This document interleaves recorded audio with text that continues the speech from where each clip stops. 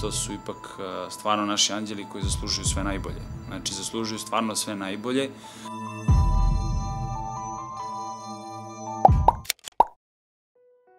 Petra Cvetković prošle godine, nažalost, je preminula od neuroblastoma, teškog oblika kancera. Njen otac, Jovan Cvetković, odlučio je da govori o procesu lečenja kako bi pomogao drugoj deci koje se nalaze u takvoj situaciji.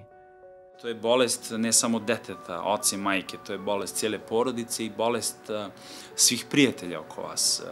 Kad je u pitanju deči tumor, taj solidan tumor, da li je neuroblastom, leukemija, bilo šta, e, tu jednostavno bi trebali da reaguju, znači ne samo znači, roditelji, na, nego jednostavno to je problem cijele porodice i države, znači cele. Ovom prilikom bi volao da kažem svim roditeljima ukoliko ustanove da kod deteta znači je tako težak znači slučaj da ne lupaju glavom u zid, da to nije kraj. Znači, kad se to ustanovi, bitno je da jednostavno ne prime hemoterapiju u Srbiju, da mora da stupe odmah u kontakt sa nama, sa bolnicom u, Sen-Žudu, da može da odu tamo da krenu lečenje, jer tamo deca koja krenu lečenje, a, to su njihovi, znači, pacijenti koji kreću lečenje i do kraja lečenja je sve besplatno. U našoj državi se vodi da se neuroblastom leči, a, to je jedna zabluda, kod nas se neuroblastom ne leči.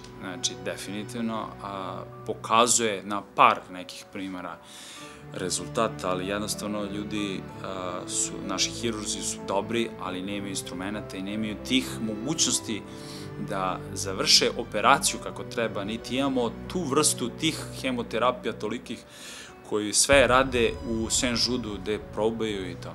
Lečenje je dosta dugo, lečenje je godinu, dve, da, mislim da znaju svi da to lečenje može da traji 10 godina, da 10 godina se proveravaju rezultati, gde idete na svakih 3 meseca, 6 meseci za Ameriku.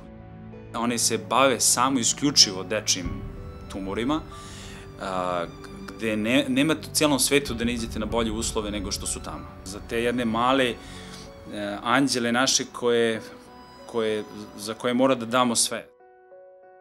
Petra i Tijana Mala, to su dve devojčice koje su a, ujedinile Srbiju, a, tako želim i za drugu decu.